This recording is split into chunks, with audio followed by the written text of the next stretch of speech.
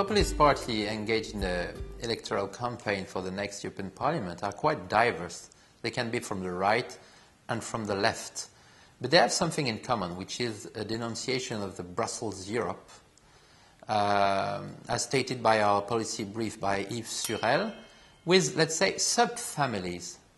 Uh, there is a first critic of this uh, Brussels Europe as a system, a so-called anti-democratic system, with a negative impact on national sovereignties or national identities. So that is the first source of these uh, populist forces.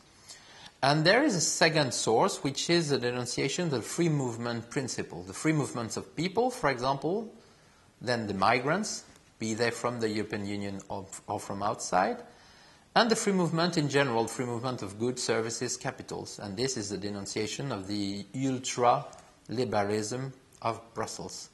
So, roughly speaking, different families from the, from the left and from the right, but uh, united with this uh, common uh, denunciation of Brussels Europe.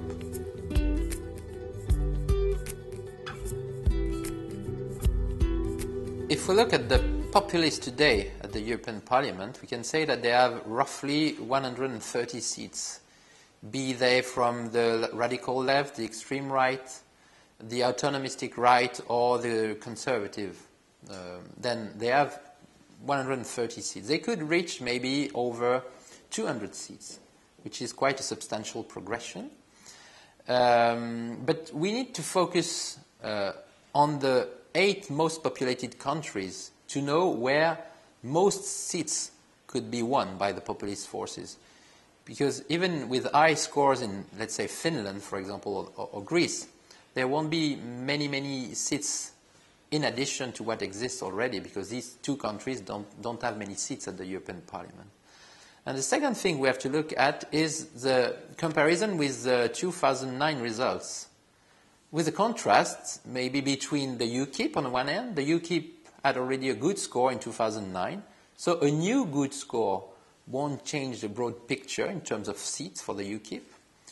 But conversely, in France, for example, the National Front had only three seats and a bit more than 6% in 2009, and in this case, in this election, it will have, it will have much, much more. So a, a much more substantial impact in some countries.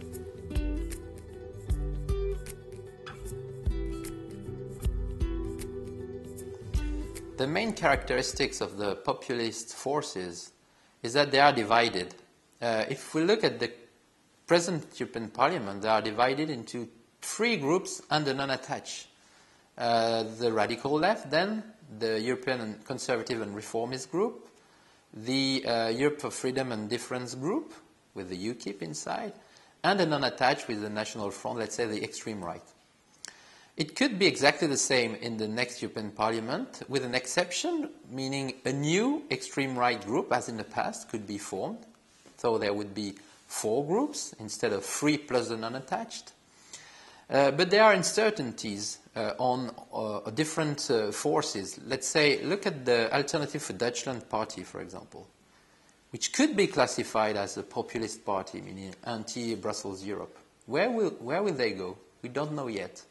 And it's quite the same for uh, the movement Cinque Stelle in Italy, Beppe Grillo movement. Where will, we, where will it go? So we don't know yet.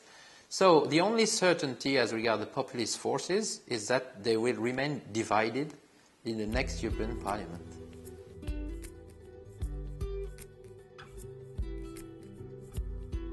The impact of the populist upswing on the functioning of the European Parliament should not be overestimated. Because even with roughly 200 seats, it won't uh, prevent the, the, the coalitions the majority coalition based on the preferences of the overwhelming majority of the European citizens to function as they did in the past. So let's say we'll have a more vocal uh, European Parliament, but uh, which will be able to decide on the, the basis of coalition from the left and the right as usual. The impact of the populist upswing on the campaign is more ambivalent uh, because, on the one hand, we could see the mainstream parties uh, taking on board the positions of the populist forces. But on the other hand, we could also see the defender of the European construction foundations getting more mobilized just to promote these basic principles such as the free movement of people, uh, the spirit of reconciliation, and the basic idea that unity makes forces in a globalized world. So we'll have to wait for the end of the campaign to know which one of the two effects will prevail.